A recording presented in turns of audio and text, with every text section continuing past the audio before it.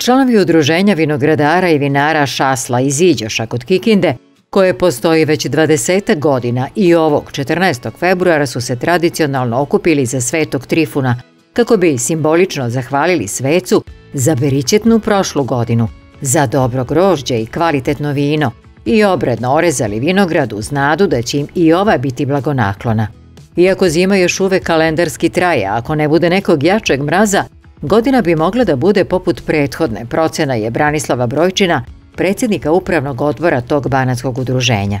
Kakva je bila 2021. najbolje se, kaže naš sagovornik, videlo na tradicionalnim 22. danima vina u tom mestu. Stiglo je 225 uzoraka koje je stručni žiri znalački ocenjivao. Branislav nam je na primjeru crne sorte Cabernet Sauvignona, kupažiranog sa Merlom i belog rajnskog rizlinga pojasnio koji su parametri presudni da bi ono bilo visoko rangirano na takmičenju. Ocenjuje se pre svega izgled, odnosno boja vina, prozirnost vina, posle toga se ocenjuju mirisi, znači to je sve pre, pre nego što se proba vino. Mirisi e, i posle toga se ocenjuje ukus vina u smislu e, punoće vina, ima tu nekoliko elemenata koje ocenjivači ocenjuju. Po boji vidimo da je bistro vino, da e, ima telo, kako kažu, a telo se vidi na obodima čaše, kako mi to kaže, ima vinske suze. E, to ovaj, pokazuje, znači pre nego što se proba, da vino ima onog suvog sadržaja unutra i suve materije i posle toga se ovaj radi proba, znači ta, kako se kaže, onargoleptička, jel, tako nekako.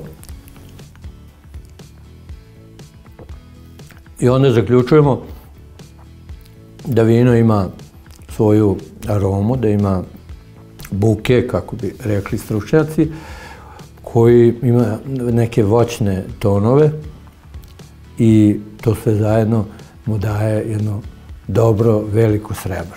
Veliko zlato ove zime pripalo je udruženju Taraški vinogradi, dok je Iđoško udruženje Šasla gradski i mesni pobednik manifestacije. Ponosni vlasnici titule trude se da tokom cele godine do naredne manifestacije rade na daljem poboljšanju kvaliteta vina. Iako većina njih božansko piće pravi pre svega iz hobija i ljubavi u skromnim količinama.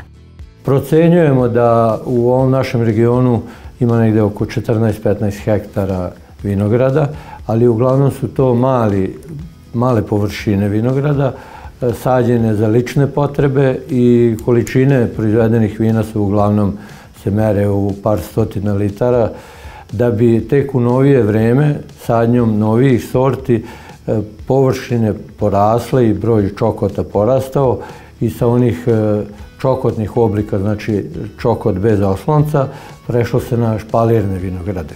Koje su sorte dominirale pre, ne znam, 50 godina, a koje su sada aktualne? Pa ranije su uglavnom bile stare sorte od Smederevke, Kevidinke, Slankamenke, bilo je čak e, veliki površina francuzera, to je jedan neprskanac koji je posle rata čak i zabranjen, zato što ima metil alkohola i u vinu i u rakiji.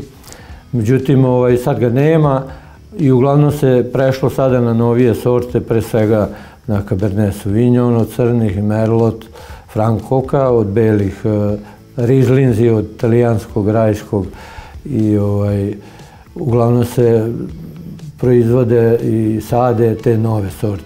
Udruženje Šasla koje broji oko 60 članova osim dana vina u februaru organizuje i susrete vinogradara i vinara Vojvodine – koja je edukativnog karaktera uz eminentne predavače sa Poljoprivrednog fakulteta. Taj susret vinogradara i vinara Vojvodine ima za cilj edukaciju, ima za cilj da podsjeti na sve one stvari koje čovjek mora imati prisutne kad bude radio vino. Jednako je važna uloga udruženja i prilikom obezbeđivanja boljih uslova za unapređenje proizvodnje svih članova. Imamo pre svega oslonac i saradnju sa uh, gradom Kikindom, sa administracijom grada, posebno sa ovom sektorom za poljoprivredu i preko njih mi ostvarujemo, ovaj, ostvarujemo određene donacije, odnosno određena sredstva konkursom kojima možemo da kupujemo opremu za vinogradarstvo, a možemo da kupujemo i sadni materijal. To smo do sada radili u nekoliko navrata. Evo recimo u prošloj godini koliko je toga? U prošloj godini nije bilo zbog poznatih mera, ali pretprošle godine smo isto imali negde 300.000 smo dobili od, od, od grada i tim parama smo kupili sadni materijal.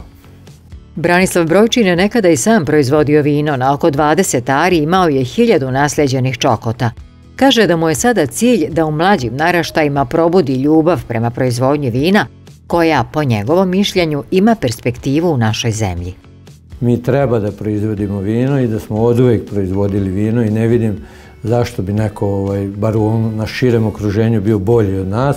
Imamo terene, imamo vredne ljude, ali treba omogućiti ljudima povoljne uslove za sadnju, povoljne uslove posebno za plasman, jer kod nas je opšta konstatacija da je mnogo lakše proizvesti nego prodati i naplatiti ono što ste proizveli. Tako da verujem da vinarstvo ima perspektivu i ima nada među ovim mlađim ljudima koji bi to ovaj, radili, koji bi mogli da žive od vina. Znači ne da budu hobisti kao mi, nego da budu da imaju komercijalna gazdinstva koja će se baviti i živeti od vina.